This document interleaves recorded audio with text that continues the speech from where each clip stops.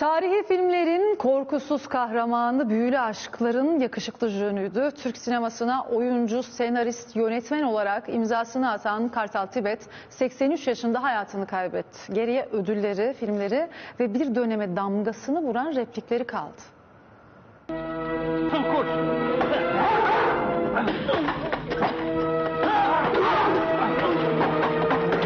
Anadolu'yu kanının son damlasına kadar savunan Karaoğlan, Ardına bölük bölük er katıp öldürmek istediğin Yiğit Baybaran'ın oğluyum. Altar'ın korkusuz oğlu Tarkan'dı.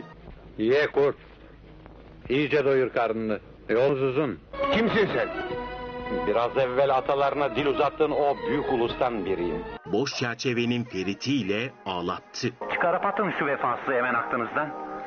Elimde olsaydı aklımdan çıkarmak değil, öldürebilirdim bile. Çalı Kuşu'nda Kamran rolüyle Feride ile birlikte unutulmaz bir aşk destanı yazdı. Seni bahçenin ilerisindeki av köşkünün yanında bekleyeceğim.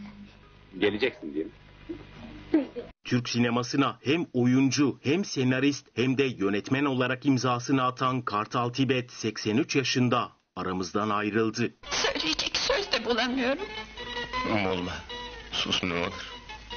27 Mart 1938'de tiyatro gününde dünyaya gelmişti. Avukat olmak için hukuk fakültesine girdi. Annesinden boşanan babasından intikam almak için okulunu bıraktı. Sanat dünyasına tiyatroyla adım attı.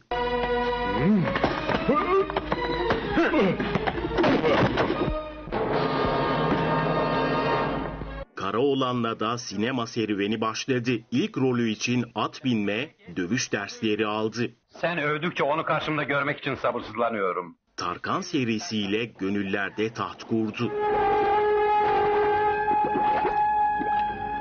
Tarihi filmlerin korkusuz kahramanı, büyülü aşkların yakışıklı jönüyken Tosun Paşa'yla kamera arkasına geçti. Yoluna yönetmen olarak devam etti. Kim yaptı bunu? Seferoğulları. Seferoğulları mı? Allah kahretsin hepsini. Boyları devrileseceler. Ah, bilmeliydim. Su uyur, Seferoğulları uyumaz. Sultan, Zübük, Davaro, Şalvar davası gibi izlenme rekorları kıran filmlere, dizilere imzasını attı. Ula Memo, nasıl gömeceğini sakın unutma. Yok olabilirim. Kes sesini duyacaklar. Vaktin o. Kurban olam unutma. Hortum tarafı başa gelecek. Kartal Tibet'ten geriye ödülleri, filmleri, unutulmaz replikleri kaldı. İnsan ne zaman öleceğine kendi karar veremez ama nerede öleceğini verebilir.